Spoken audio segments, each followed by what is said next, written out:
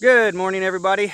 My name is Evan and today I'm going to be working on this old bank barn trying to get electricity hooked up into it. So previously I've trenched in electricity from the front of the property where our meter base is and got electric wire over here to this barn. So today I'm going to try to actually get that wiring hooked up, get an electrical box installed, try to get some, uh, some outlets, some lighting on the inside and some lighting on the outside of the barn. So this old bank barn actually had electricity at some point in time in its life. So it used to have electric that used to come in right about there and it was fed with an aerial electric cable. So they had a cable that came across here. It bounced somewhere over here to an electric pole. Then to, there was an old house back here, then over back across the street to the grain bins, and then back across some poles back to the meter base. So it was quite a string of cable that was back here. All those structures have been torn down. The grain bins are gone. The house is gone. All that's gone. There's, there's no aerial feed out here no more. But when we bought the place, it never worked out here anyway. So part of that was broken or didn't work or wasn't hooked up, but there was never been electricity out here since we've owned this, this property. But today we'll get it hooked back up and we, we're going underground instead of aerial. And um, so there is an old breaker box on the other side of this wall. It's actually an old fuse box and it's all rusty. It looks terrible. And we're going to tear that old fuse box out. We're going to put in our new breaker box inside of here. Uh, and then we're going to try to get some lighting and stuff hooked up. So there is some original wiring in here, some original lighting. Um, I'm going to guess that most of that is probably pretty bad shape. Uh, we'll just have to assess it. We may be able to use some of it, but I'm going to have a guess that I'm going to end up replacing all the existing wiring in this old barn and replace it with new. So I'm going to go ahead and get in the lower level here and we'll start uh, getting our breaker panel installed, tearing out this old fuse panel. So this is the old fuse box that's located here in the in the barn. You can see it's all completely rusted. The whole bottom is kind of uh, rotted out. And uh, it's, it's really in pretty nasty shape. Um, a lot of this wiring that you see coming in here doesn't appear to have a ground wire. So it's just an old two wire uh, electrical instead of, uh, usually you have two wires plus a ground. So most of this old wire I won't be able to use. I want to replace it with wiring that has a ground wire. But we're going to take this uh, electrical box off the wall. We're going to put a new electrical box somewhere in this area where it's more um, lower, a little bit lower so it's easier to get to.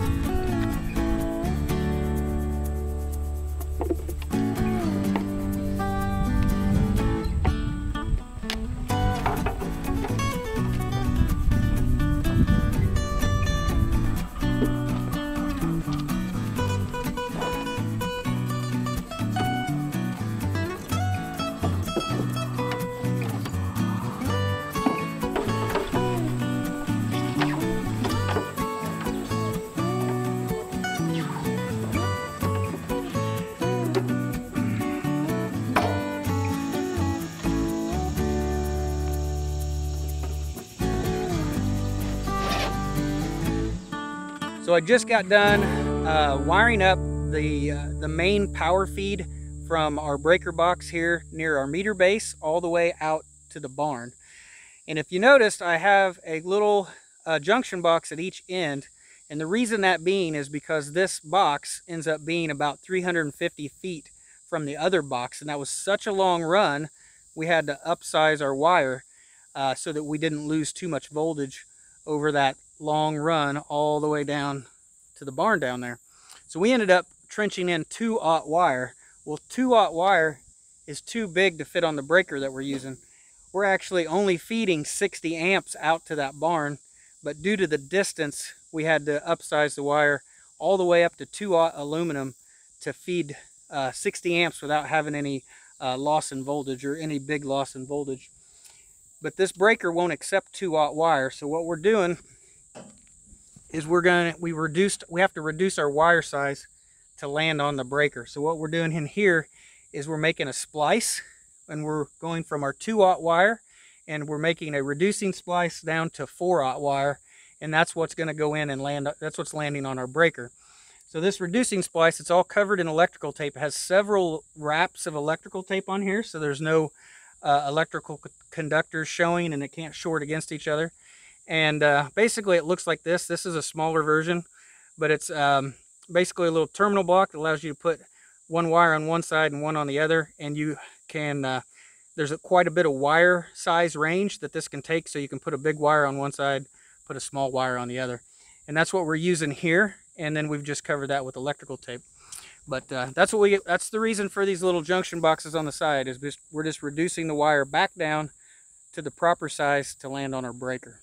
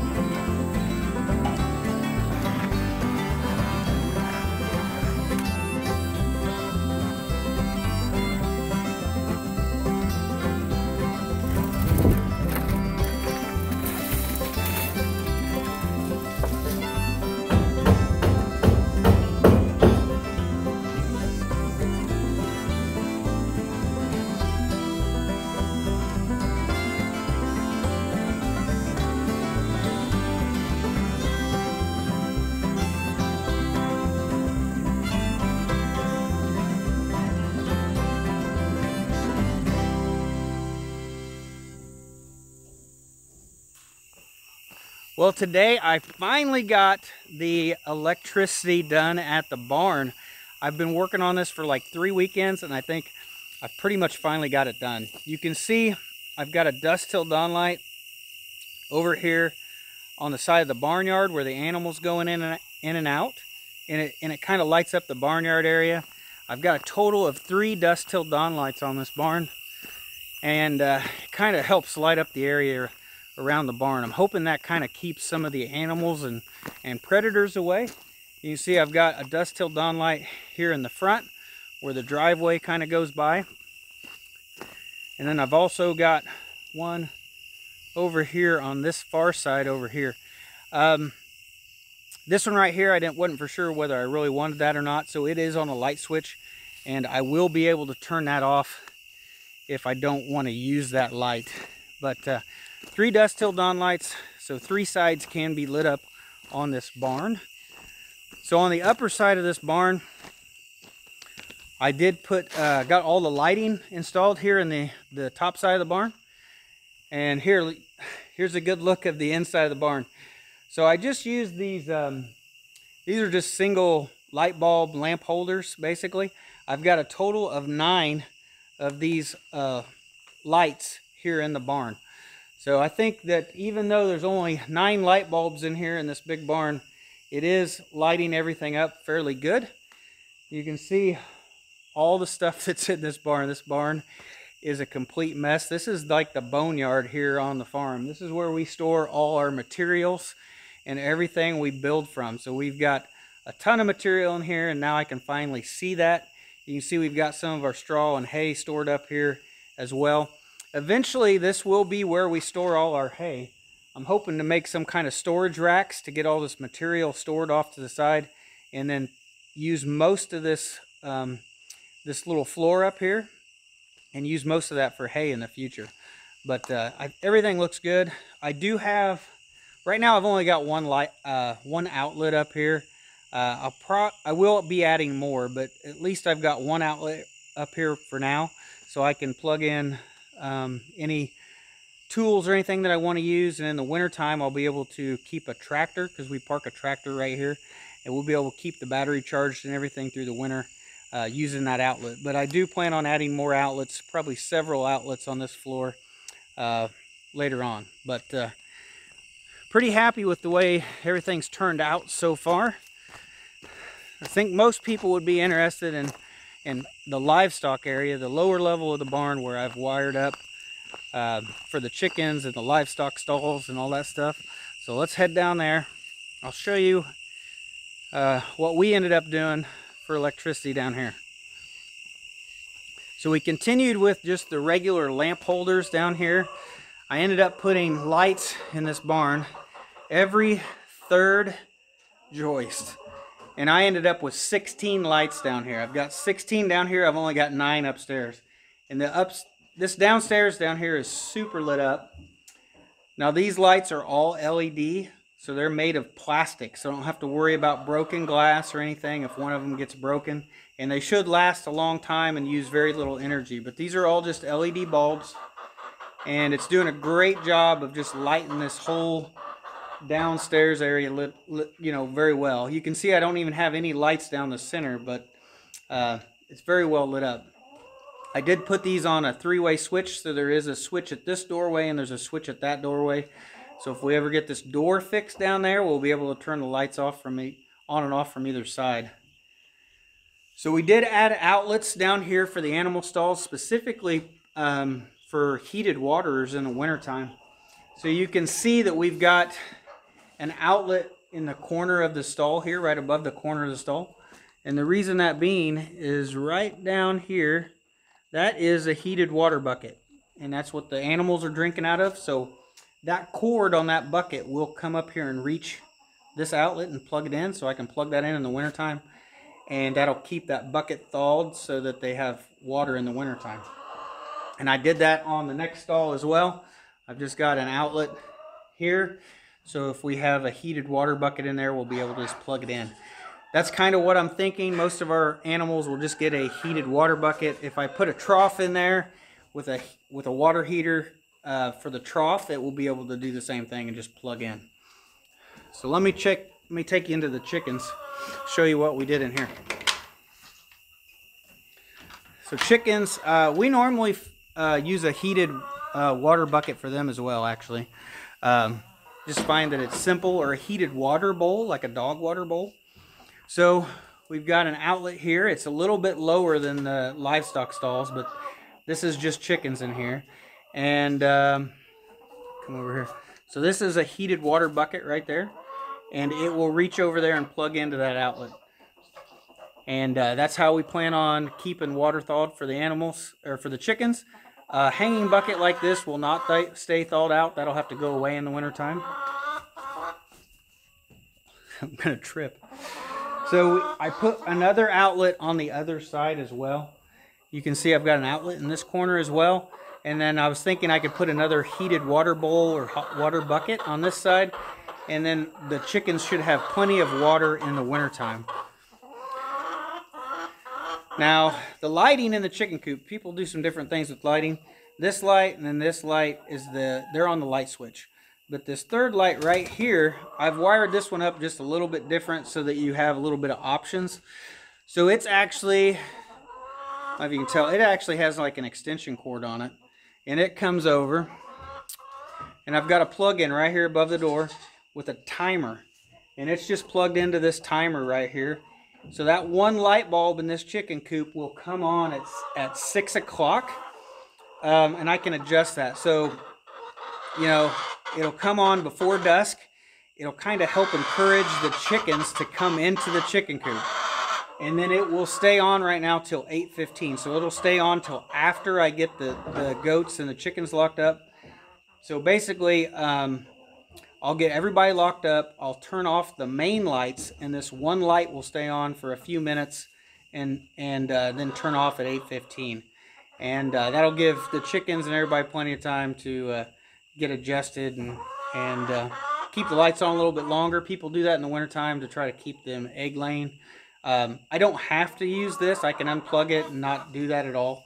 But this just gives me options where I can put at least one light in the chicken coop on a timer if I do want to keep the uh, the chickens lit up a little bit longer, help encourage a little bit of egg production.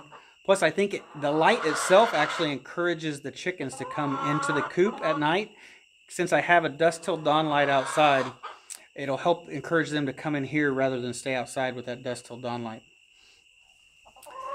But uh, that's pretty much my thought process and how we wired this whole this whole barn up. I don't I don't know uh, what other people do. So if anybody else has any other ideas or if they do anything differently, just let me know. I'd be interesting in uh, hearing what other people do in a livestock barn.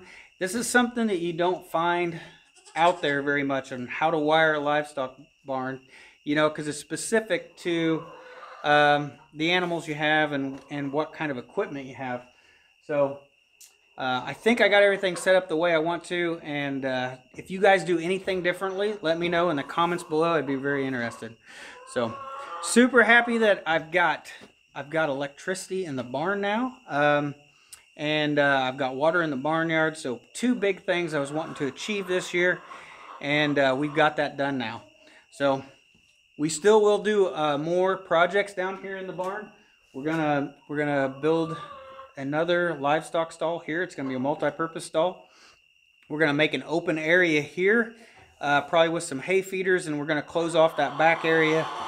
Uh, so that's where we're gonna store food, keep the animals out of that side. So we still have some more stuff to do down here. It's going to be a lot easier to do it now that I actually have power out here. Um, so that's it, guys. Uh, thanks for watching, and uh, I'll see you guys in the next video.